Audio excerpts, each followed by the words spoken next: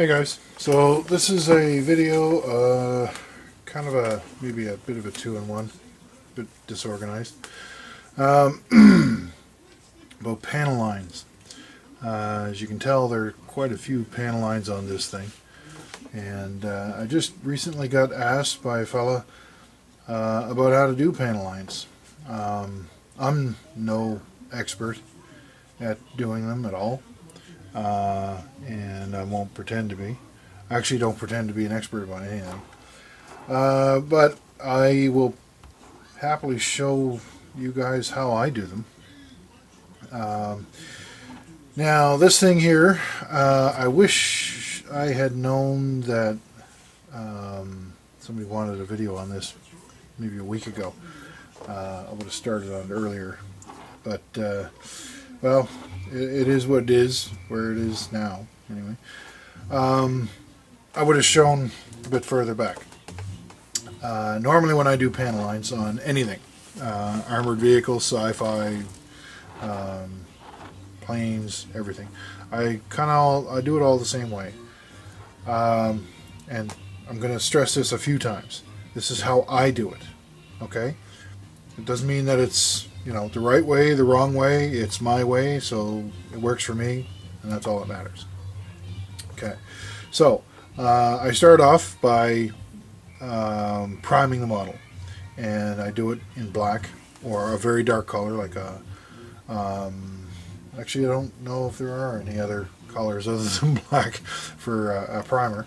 Um, but it'll be like a, a, a, dark dark gray or a black color. Um, and if I primed it in a lighter color, like a like a light gray or yellow or something like that, I would take like a burnt umber color, and then I would draw the panel lines in with an airbrush uh, with that darker color. And uh, I don't think I'd, you know, you don't have to be super neat when you do that.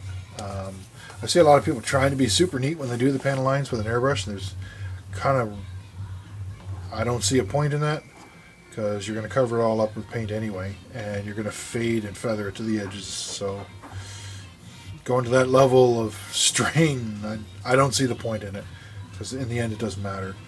Um, at least it doesn't in my work. So uh, you know uh, if you want to do that hey that's fine. If you don't want to do that um, great cool. Save yourself some trouble. So uh, after I prime the model in in this case black um, the next thing I do is I start with, I don't paint the entire model one color. Right, that's not how it works. Um, I start with each individual panel and I treat it as a paint subject. And so in this case, this panel here, I start, I basically I fade the entire panel first. I give it like a skim coat, a very thin, light coat of the color I'm going to spray, which in this case was a white flat white. And then I start in the center and very, very slowly and gently build up the color, moving to the outside edges, following the shape of the panel. In this case, kind of a sort of squarish shape. Um, and then once I reach the edge, I'm spraying almost no paint at all. And then I, um, I move, I let, I let that dry. I move on to another panel, do the same thing, and then another panel, do the same thing. And then usually by the time I hit like the third or fourth panel away, that first panel's dry. And then I come back and I do it again, right? But lighter. Um, and then I try to blend them all together so that they're at the same level of paint. Okay? So they have the same appearance, general appearance. Now, on a subject like this, you don't want them to be exactly the same because that doesn't, it's not very visually uh, appealing. This is a sci-fi subject, obviously. It's kind of an iconic one hopefully everybody knows this is the Millennium Falcon. Um, so the, the the variety in, in colors and the panel lines on this kind of a subject is actually what you want to go for. But on on a piece of armor, you don't. Um, the they were basically built all in one, so that you don't get a variety in the tones on the paint. So they're all kind of the same. But you want the the darkening in between each panel line. Uh, I'll zoom in a bit here so you can actually see. If you can see, there's a, almost a shadow line for each of these panels. And that's done on purpose. It's because I've, I've feathered the paint Uh, I've started where it, the paint is more intense here in the center and then gently faded it back until I hit the actual panel line itself. And uh, I do that for every panel on the piece. Um, now, when I'm at this stage, I'm not incredibly concerned with being hopelessly accurate. Um, I don't I don't see how because of the layers of paint that I'm going to be adding later uh, with weathering and final details and stuff like that. A lot of the if you, the detail you try to put in at this stage will just, just disappear. You won't see it anymore. So I don't really focus a lot on hyper accuracy at this stage. I do that later when uh, I do uh, more detailed painting. So, um, so that's where I start. All right, so it's a, a, a base coat of black, like a primer with black, or a very dark gray. And if I use dark gray, I'll go at the panel lines with a darker color, like a, a flat black or a burnt umber color. And then I do each panel with um, its base color and then fade it out to the edges. And that's where that that stops. That's called pre-shading. Okay. Um, so once that's finished, I let it all dry, and then I will start with the detail painting. And in this case, there's not a whole lot that needs to be done. Um, a lot of this is decal work. So, uh, but you know, detail painting on this. Uh, mostly will be the guns and maybe some little tiny thin things here and there where they're slightly different colors than the white. Um, but uh, most of it is uh, the painting on this thing's weathering. So um, I don't really have to worry too much about that. So what I'll do next on this is I'll, I'll paint the two guns and then I'll hunt around on my resources to see if there's actually pieces on there that are actually painted and not weathered. They're actually base painted. Um, bit of a finding Waldo, where's Waldo kind of thing, because this thing's quite a large subject, but um, you know, I'll, I'll, do what I can. Uh, and then once I'm done that, I'll gloss coat it and do the decals, and then comes on the next stage of the uh, panels, the panel lines, and that's washes which I've covered in another video, and that's my wash video, but I will do a second part of this video um, in a few minutes where I do the washes on this. But first I have to do the actual detail painting and the decals on this. So I'll come back in a few minutes with that.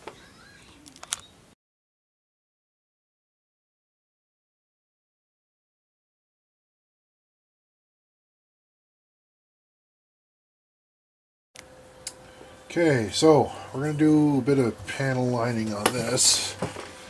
Here, uh, um, couldn't imagine a better subject for doing panel lines. There's so many nooks and crannies on this thing.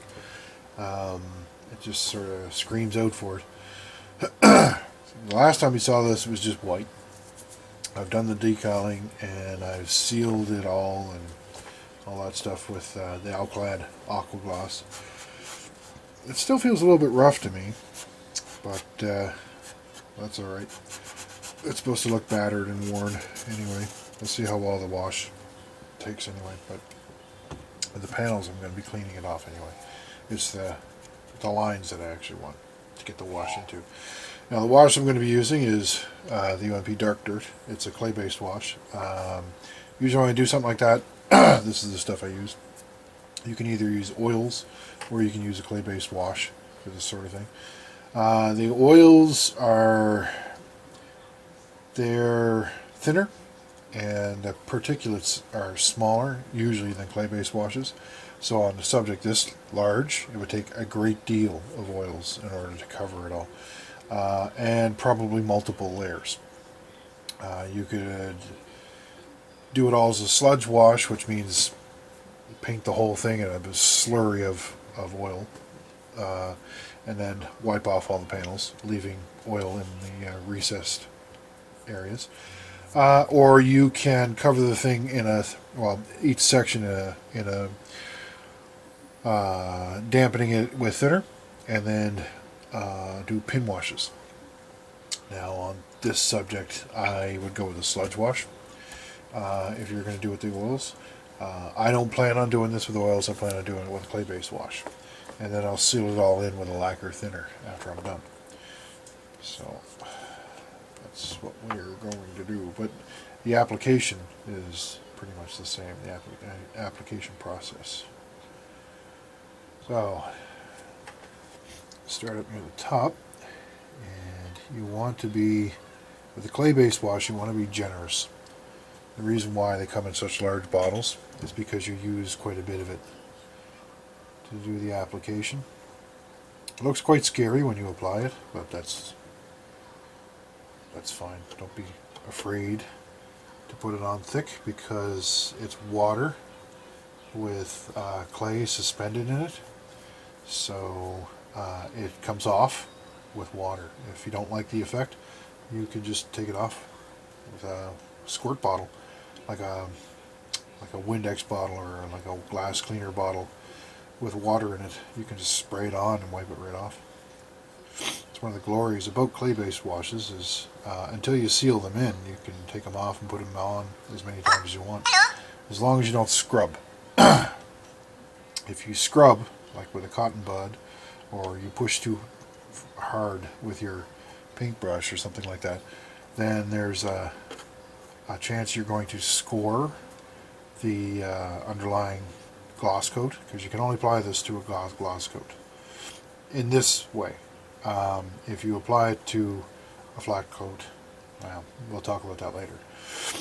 Um, if you score the uh, the gloss coat, in other words, scratch it, you're never going to get this off. So now, one thing that I will do is I will often apply clay-based washes over flat coats. But I do it for a very specific reason.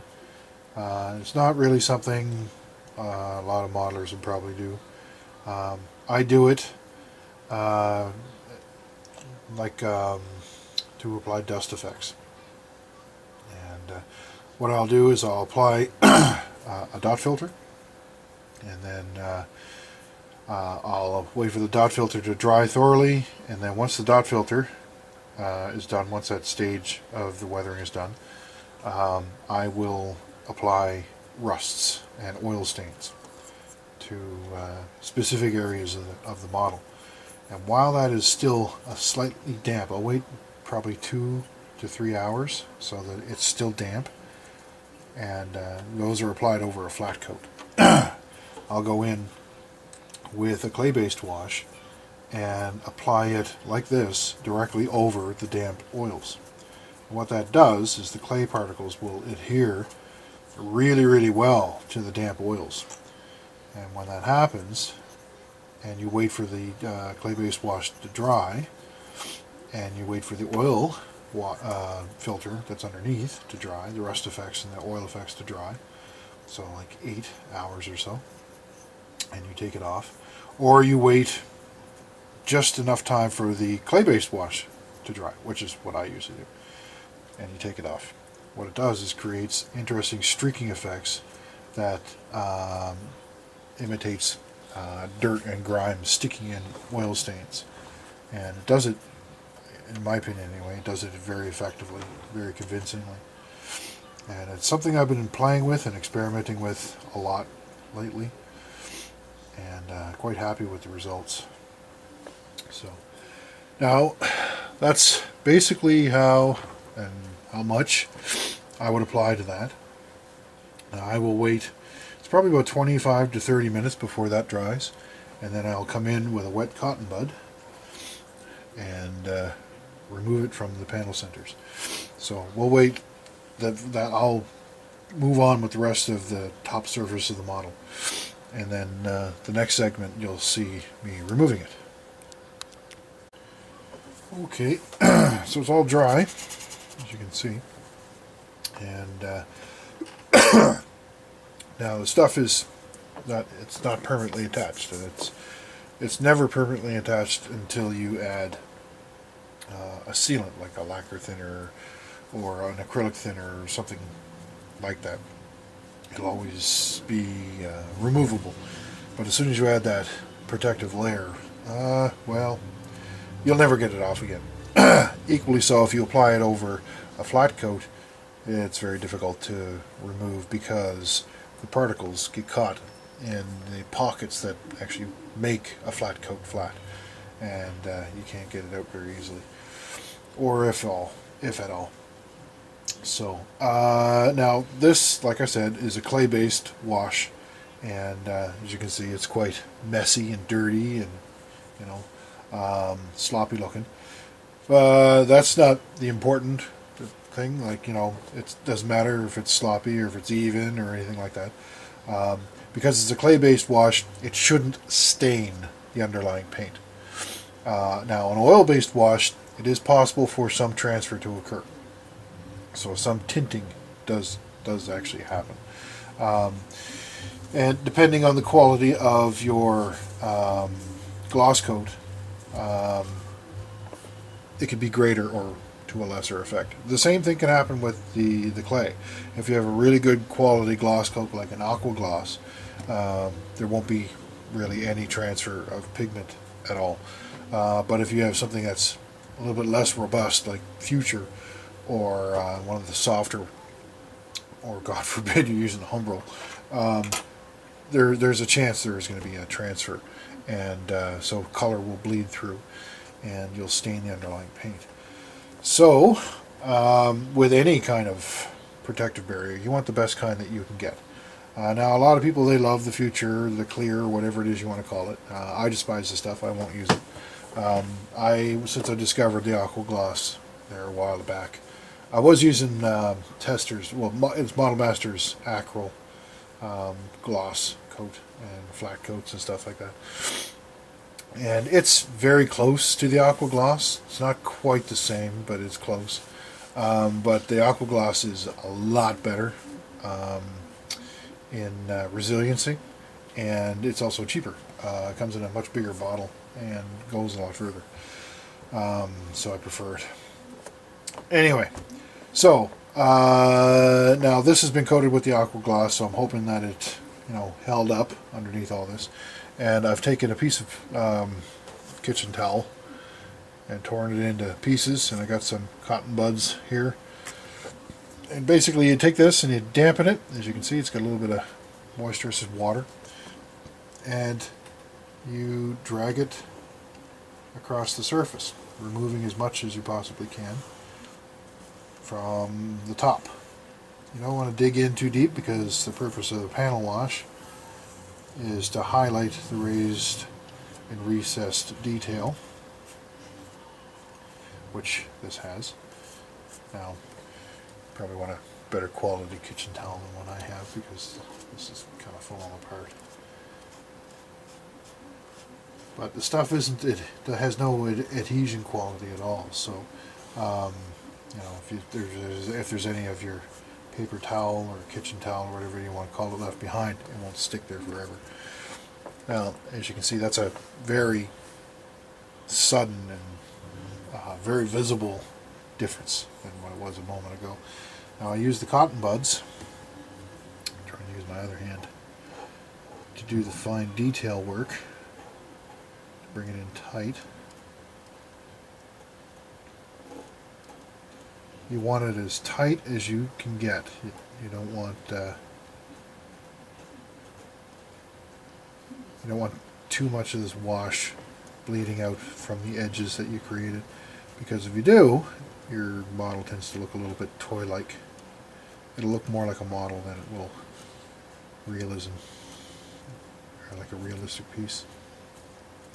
Now I turn these as I'm like I'm rotating them so I'm scooping in a lot of ways. It's hard to do this with my left hand. I'm a righty most of the time.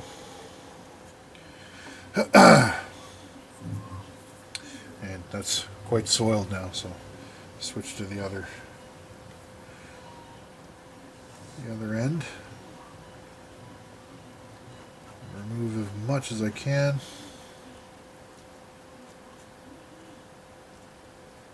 And it is especially on a piece this large. Quite time consuming.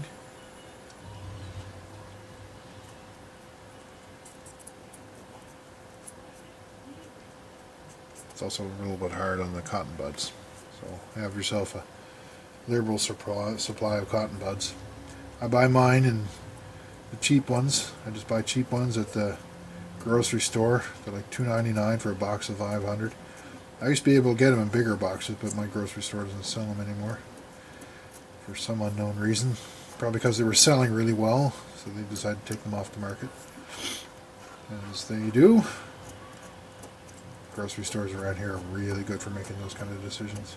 Ooh, look, that's selling really well. Let's not sell it anymore. Let's sell something completely different that no one actually wants. I've done that many times. Alright, so let's start look like I want it to.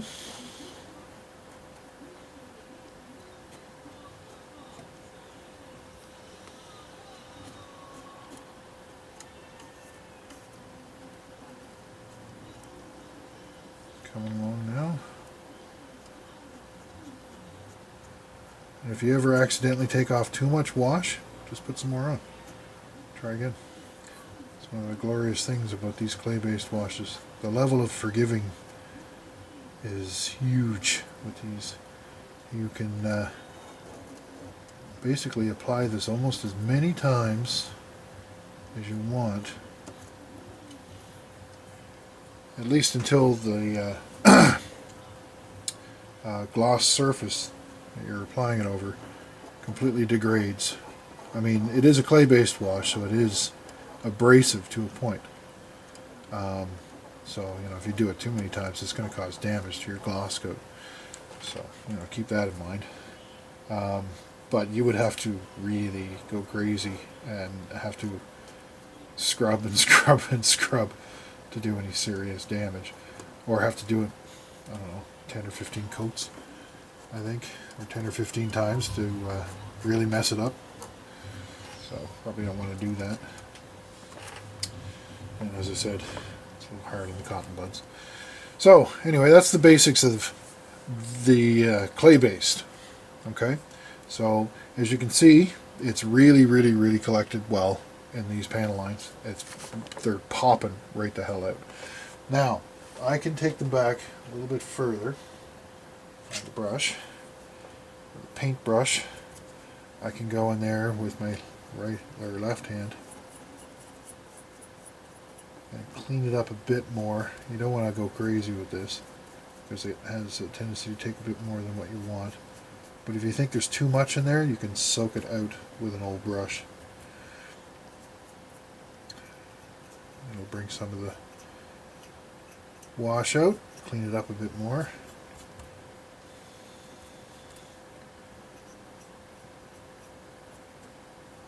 And it dries very, very fast. So you can see the effects very, very quickly. So, and you can use something like this almost everywhere. Now another thing you can do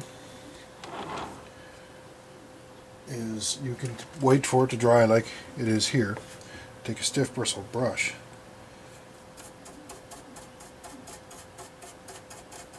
Take it off using like a weathering type of stroke. So this is an, uh, following the flow of like rain, for example. Now this is a sci-fi piece, so it's not really something I would normally do. I'm just going to do it to this one panel as an example. But I can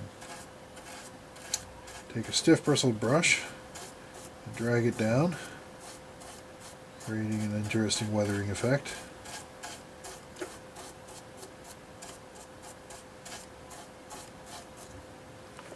Now this panel, as you can see now, this one here isn't as sharp or as crisp as this. It's a bit more of a faded type of a of an effect but it does bring out the panel lines almost the same depending on how long you scrub at it with the stiff bristled brush.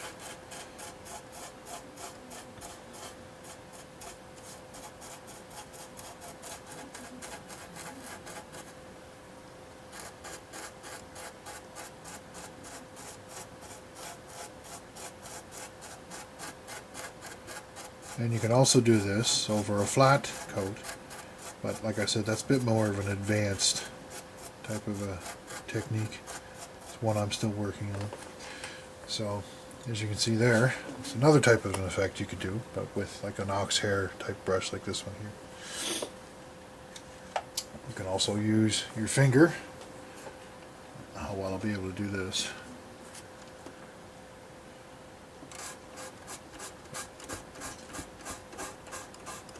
See the finger, we'll take it off as well. It's a much more messy, oily, gross looking in fact. But it can make it look really, really dirty. Really, really dirty. And if you don't like that, you can always go back to the cotton bud and just take the whole thing off.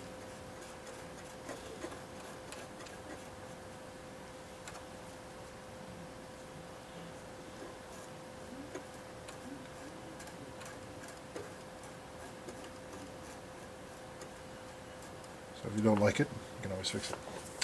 It's one of the glorious things about the uh, clay-based washes. Now there is a bit of forgiveness with the oil-based washes as well. You can do some of these things with them um, uh, because of their slow drying time. Uh, you can apply them and remove them and uh, you can do that to a certain extent you can do that several times before the drying makes it impossible for you to do it any further. So um, there is an element of forgiveness when it comes to the oils as well. Um, it just comes at a different stage. And there is some effects that I much prefer to use oils to do. Um, and then there's others I really prefer to use the clay-based washes. Now I've used clay-based washes for off and on, probably almost eight years now. I started off making my own because uh, there was only one company that I knew of at the time that was making them, and they were so expensive. They were, I, I would have to import them, and it cost a fortune to do that. So um, I, I just didn't. I had to make them myself. And, you know, I, I learned how to do it myself, but, you know, making them myself was a huge pain in my butt. It was messy. And, um, I had to keep large quantities of certain things around. And storage was a bit of an issue at the time. Um, and uh, it does take quite a bit of time uh, to make them. And a lot of people don't have the interest uh, or the uh, energy levels to do that kind of thing, the homegrown type of modeling. Uh, and that's why we have so many convenience products on the market now, like homemade or uh, over-the-counter pigments and over-the-counter washes now. So, as there's you know there's good and there's bad about all of them, right? And uh, when it comes to the clay-based washes, uh, from my own personal experience in making them myself, um, yeah, I'm sorry, I'm going to buy them.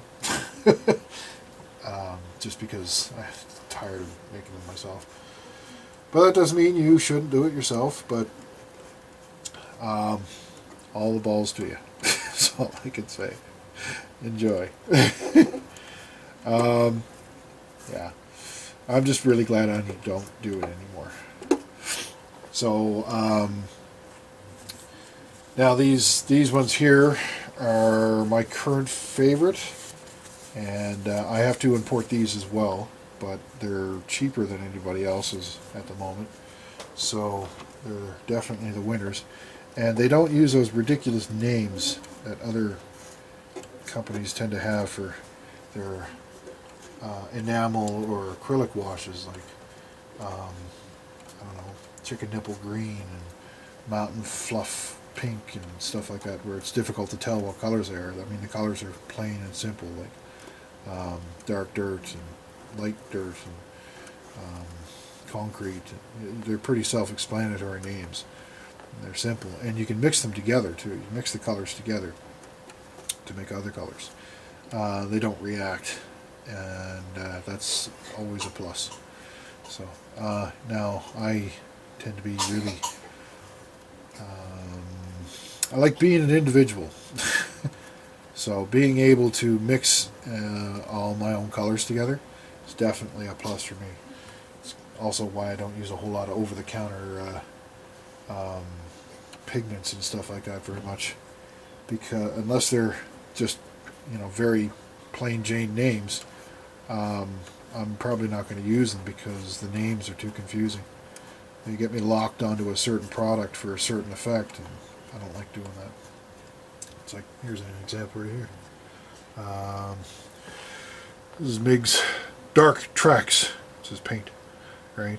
Um, I don't actually use this. I use this in a combination of three other colors to make my dark tracks, right? Um, I don't like being locked in like that. Uh, I think it's a mistake to get your head around stuff like that. I don't think it's a good idea. Um, you should make it your own. That way your model doesn't look like everybody else's. I can understand that you're looking for a degree of accuracy, but there's no reason to believe that the people that are making these colors are um, any more or less accurate than your own research. So don't trust that they're right. I mean, I've seen some colors at MIG for some of his things, and I flat out disagree with them. I don't think that they're right at all. And uh, so I don't use them for what he says that you're supposed to use them for. I use them for other things. I still buy them, but I use them for other things. So, uh, you know, like I said, you know, do your research and decide for yourself what colors you want to use. So when it comes to these washes, and the clay-based washes and stuff, it's the same thing. You mix them and match them and get the colors that you want to achieve the effect that you're looking for. Just don't get locked into, you know, the this is the right color for that, this is the right color for this. The right color is the color that you decide is the right color. So, you know, it's always up to the individual. Now these clay-based washes are probably the easiest things in the world to use when it comes to this type of an effect.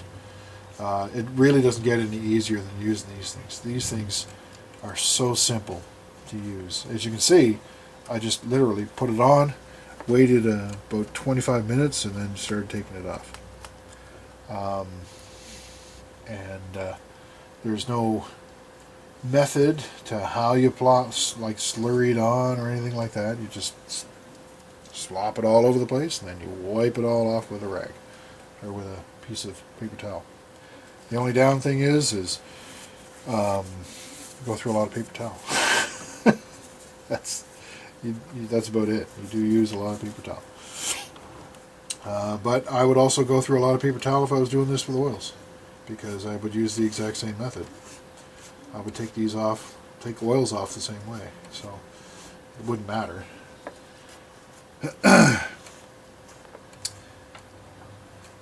now, I am planning for the next segment to do a section on the underside of this with oils to show you the difference between clay-based and oil washes for doing panel lines because both of them are useful. And uh, that way you see how to use both or at least how I use both.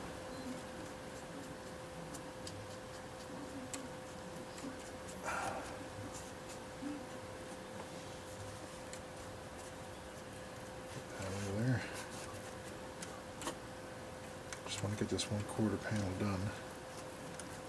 And then I'll move on to the next bit.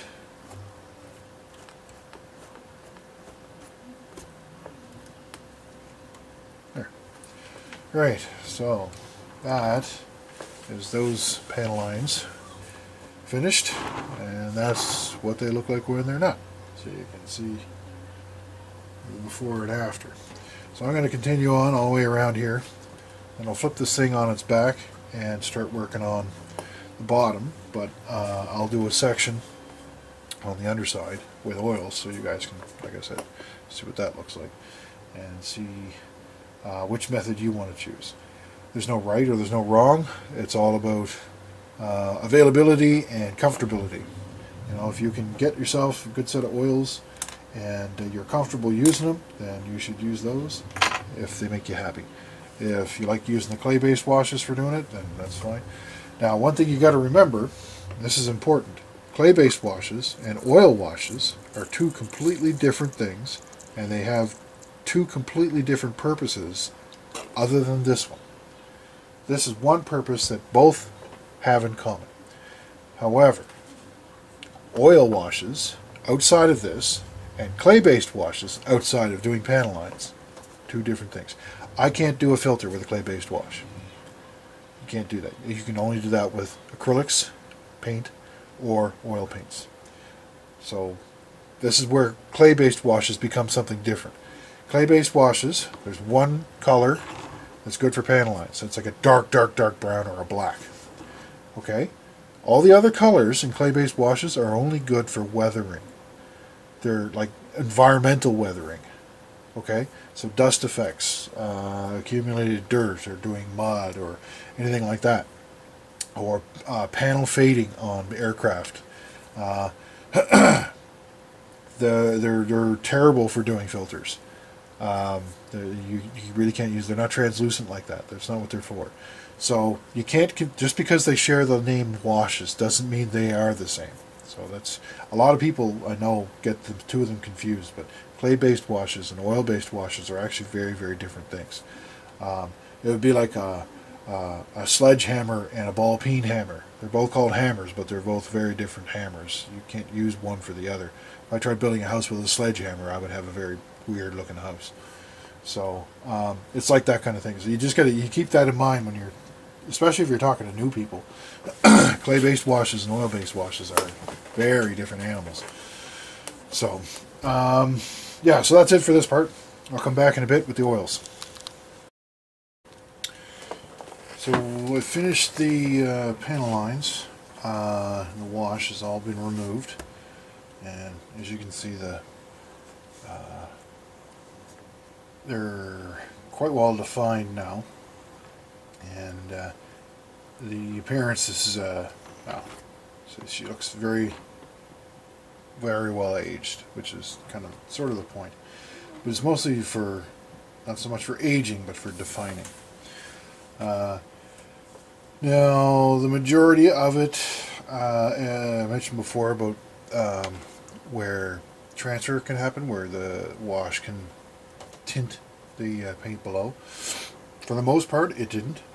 Uh, there are a couple of spots where it did, and that's not so much the wash that's causing that, it's the uh, depth of the clear coat that I put on. Uh, it's a very large piece, so I may have had um, more in some areas and less in others, and because of that, the uh, staining occurred. Like this area here, it's got a little bit of a yellowish tinge, and over here a little bit of a yellowish tinge. But that's fine for this piece because it's supposed to kind of look like that. Um, the uh, old and battered look is kind of what you want to go for. Now, I haven't done the underside at all. It's spotless. It's brand new underneath. Um, and I'm going to continue on with the underside with more of the uh, the same the clay-based wash. Um, so I'll use that. But uh, I wanted to show an oil-based wash on for doing panel lines as well. And I'll do that on these accessory pieces that are they're covers for the uh, excuse me they're covers for the uh, landing gear. Uh, the landing gear on that model are removable and you can replace them with these panels. And uh, they're great little examples of uh, what can be done with an oil wash.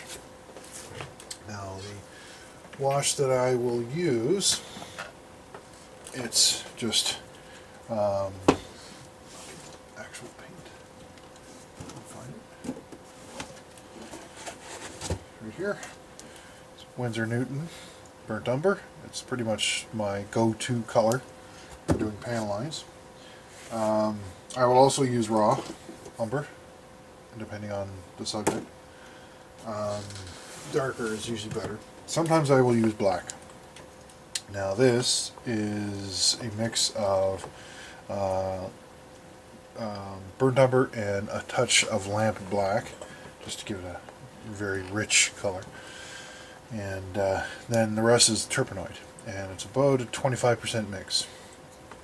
So about 25% paint to the rest thinner, and it's full up to about there. So, and uh, I mix these things Uh, I wouldn't go so far as to say in bulk, but I mix them in sizable quantities um, because I use them quite a bit. So now to apply, you need where's my there it is some clean thinner. This is just Turpenoid. And you need a brush. You dampen it with thinner. You dampen the surface. Now the surface of this has been glossed with aqua gloss, like the uh, rest of the model was. And you apply it the same way you did with the clay-based wash. And as you see, it's flowing into all of the raised and lower detail, which is exactly what you want. Now you got to realize that gravity comes into play on this. So when you put it on, you should have it sitting in a level position. Uh, because if you stick, take this and stick it back in here, uh, it will dry like that and you'll have everything pooling down at the bottom and flowing out of those panel lines. You don't want to do that. So in this, for this piece you want it to be sitting flat. So once I get it stained, that's about where I want it there. I'll just set it down. Grab another one. You don't want to soak the surface with the Turpenoid.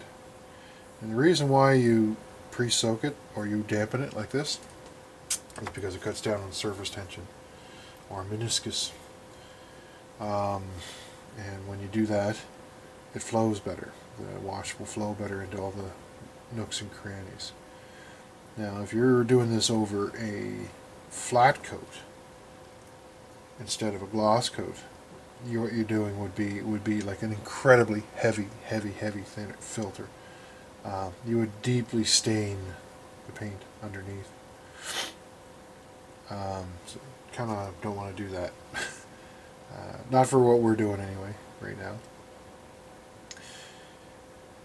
Now the uh, now these are oils, so I've added a little tiny bit of what's called liquin to it, and what liquin is uh, is an additive for oil paints, and it accelerates drying time. It adds a bit of a gloss uh, type of uh, texture, a gloss finish to your paint. Uh, but uh, as with all gloss finishes, you can correct that with a matte coat. So it doesn't really matter if a paint is satin or a paint is matte, or it makes no difference. Uh, because you can always spray it over with a gloss coat or a matte coat or a semi-gloss coat to match the finish that you want. Um, or you can even go so far as to um, in with a brush and have some areas mass uh, matted in some areas semi-gloss so you have a different type of texturing going on for the way it hits the light. Okay.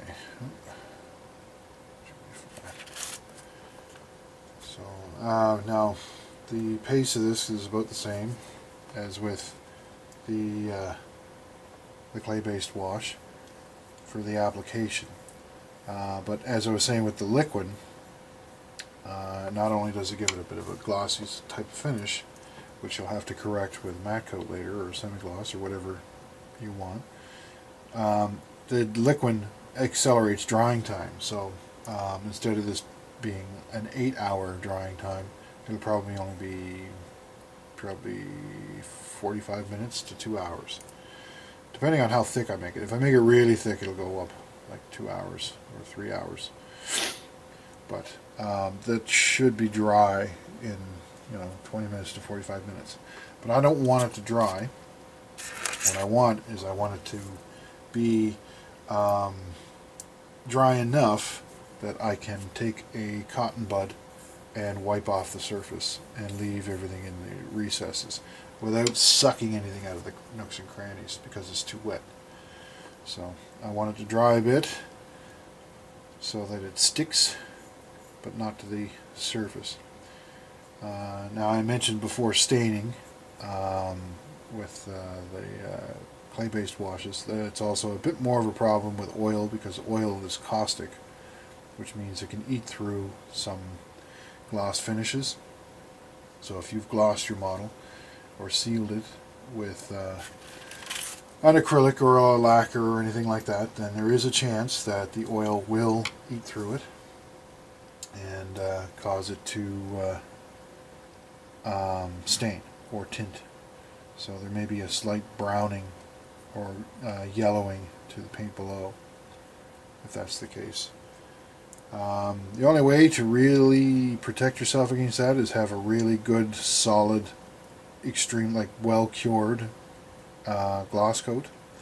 Uh, you don't want to put your gloss coat on too thick because you'll wash away detail. You'll plug it all up with your gloss. But you want to put it on in thin layers and you want it to be very, very dry. Very cured. Um, that way it'll be the best surface you can do. So now that's going to take some time for it to be uh, ready to take off. And uh, so I'll let that sit and then I'll come back and take off the, uh, the surface of it and you will see how that stuff looks compared to the clay-based wash. Okay, so the, uh, the oil is dry enough that I can uh, take it off with a thinner dampened Q-tip or cotton bud. And you just gently, don't dig it in too far, give it a wipe and clean off all the panel faces. But you'll leave all of the wash and all the nooks and crannies.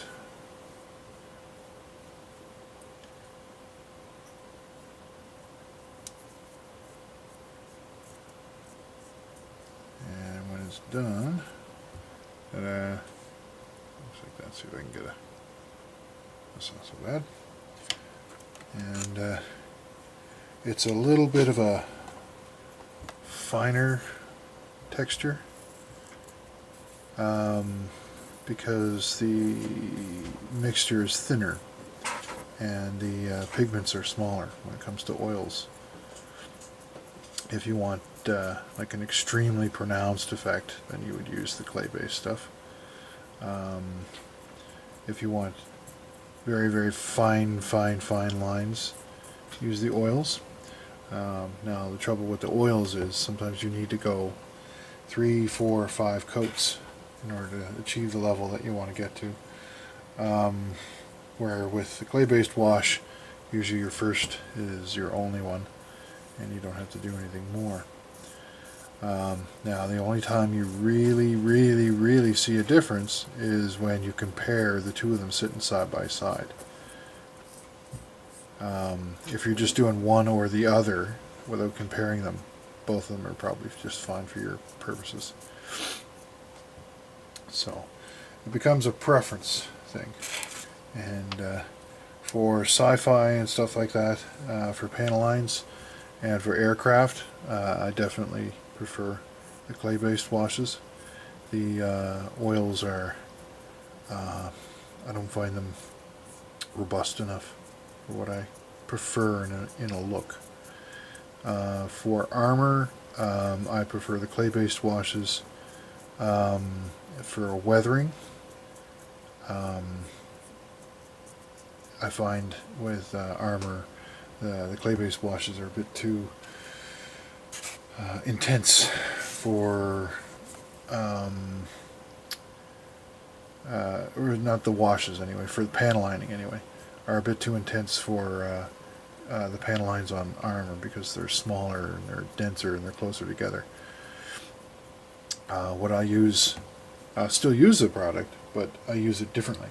Uh, what I use it for is for heavily weathered areas, or sorry about that, um, or for uh, if there's Zimmerit uh, on a vehicle, I'll definitely use it on that. Um, but if it's uh, just for doing the panel lines, I prefer a smaller effect, uh, more detailed effect with the uh, the oils. Uh, and then I'll go back with the the darker panel line, or in this case the dark dirt, to do uh, weathering and uh, deeper shadows and uh, mud effects and stuff like that. So still has its uses. I just change them. So uh, having it in my um, toolbox is definitely a, a must. So now the bottom of the Falcon is is all washed with the clay-based wash and ready to be, or it's drying now. It's still quite wet. So uh, in a few hours, we'll probably take it off as well. So that is the the differences between the clay-based and the oil-based washes, um, and because uh, uh, there are very big differences between them, and it's important not to confuse the two of them and try to uh, put them both on the same dance card because uh, the elements that they share are very few and compared to the elements that they don't. So, um, like I said earlier, the oil-based washes are a very different animal than a clay-based wash, and they have very, very different uses, and they only share one small use. So, um, uh, the only reason I'm saying that is because I've heard a bunch of people comparing oils and, and clay-based washes, and that's like comparing uh, um, two different kinds of hammers, like a sledgehammer and a ball peen hammer, and you know, like I said before. So, anyway, uh, so that is how I do uh, panel lines, and uh, so it starts with the the paint, where you fade to the edges, and then once that's done, you seal it with glosses. Uh, then you do the bring the panel lines back out with with a wash, whether it's an oil or a clay-based wash. So. Um, I've actually used both on the same model on a couple of occasions and had good effect as well. So you can use them both together. Um, all depends on the effect that you're trying to go to. So it's not really a right or a wrong thing. It's uh, the effect you're trying to go for and your preferences. So anyway, uh, that's all I got on this. Um, you guys be good. Keep your stick on the ice. Bye for now.